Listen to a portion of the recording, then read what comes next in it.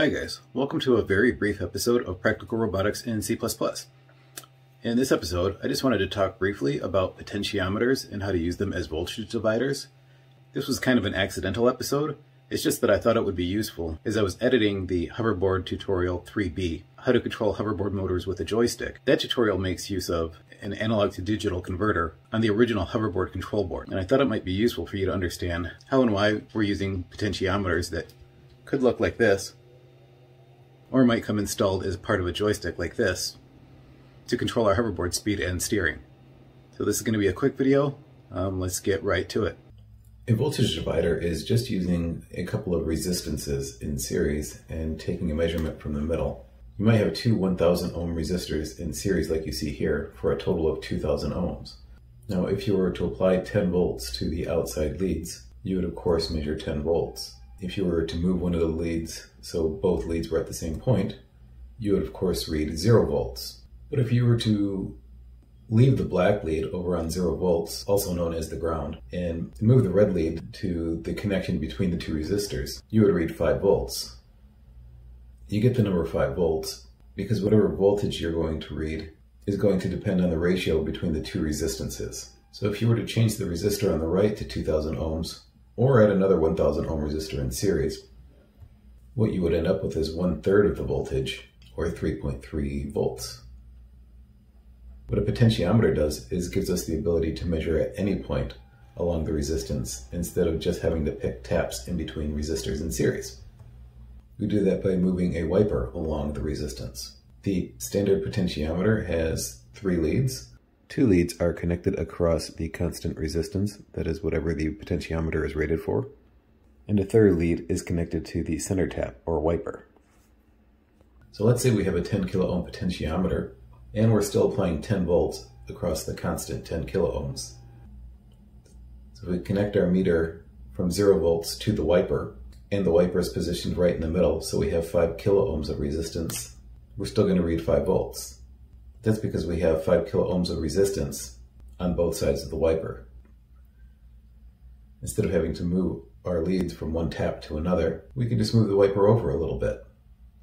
And here we can have 4 kilo ohms on the left and 6 kilo ohms on the right, and our voltage is going to be 4 volts. So that's one thing to notice, is that the resistance between the left outside lead and the wiper, plus the wiper to the right outside lead, are always going to add up to the total resistance of the potentiometer, in this case 10 kilo ohms. We can move the wiper a bit to the right and get 8 kilo ohms on the left and 2 kilo ohms on the right to get 8 volts. Thanks to Ohm's law, resistance isn't the only thing I can change. In the case of the analog to digital converter on the hoverboard, that requires a 3.3 volt reference for the analog to digital converter. So let's put our wiper back in the middle of a 10 kilo ohm potentiometer and put 3.3 volts on, on the outside of the potentiometer. If we use that red lead and send that to the analog to digital converter, take a moment and try to figure out what voltage right now would be going to the analog to digital converter. If you figured 1.65 volts, you are absolutely right, because that is one half of the voltage, and at 5 kilo ohms on both sides of the wiper, from zero to the wiper is going to be one half of 3.3 volts. If we move the wiper so we have 1 kilo ohm on the left and 9 kilo ohms on the right, we're going to have only 0.3 volts going to the analog to digital converter. Now another thing I just want to mention is that you can use both sides of the wiper. They're both perfectly valid resistances.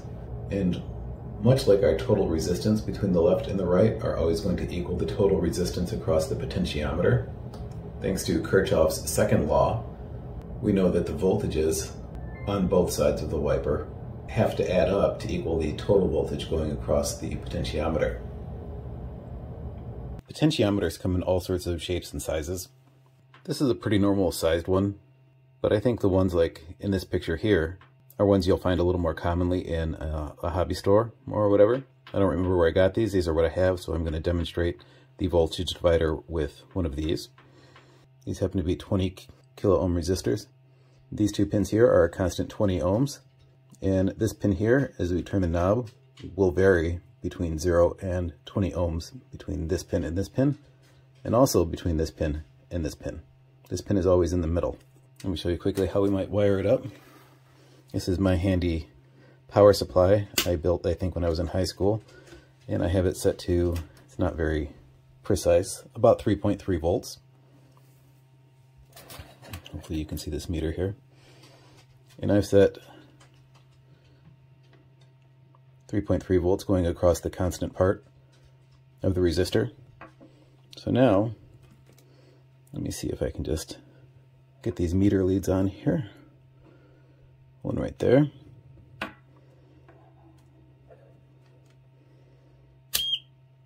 Set the voltage.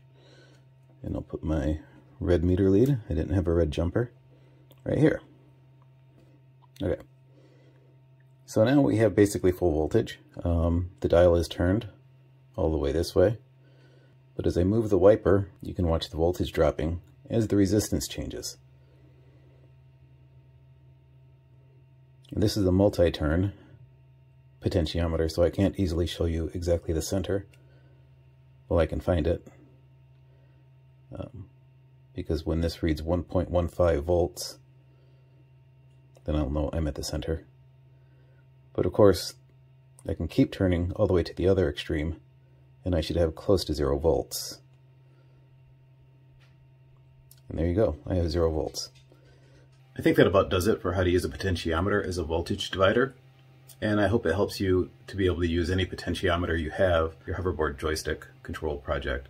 Uh, so if you have a different potentiometer than I did uh, in the tutorial, which I will link to here somewhere, um, that you'll be able to use your potentiometers for, for whatever purpose you need to, or if you need a voltage divider for another reason.